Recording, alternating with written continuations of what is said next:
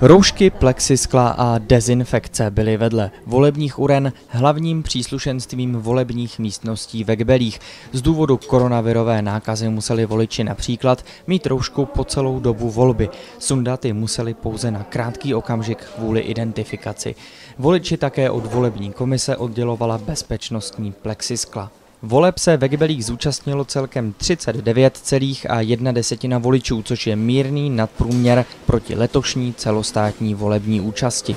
Celkem své hlasy tedy odevzdalo 1926 lidí, 8 z nich ale odevzdalo neplatný hlas. Gbelští voliči rozhodovali podobně jako voliči z celé Prahy a tak se do druhého kola senátních voleb probojoval současný senátor David Smoljak, který ve Gbelích získal 48% hlasů, přičemž za celou Prahu 9 získal necelých 43%.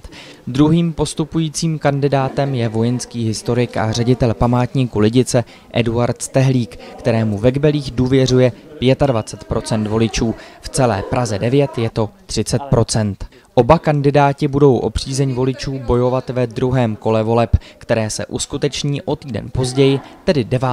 a 10. října.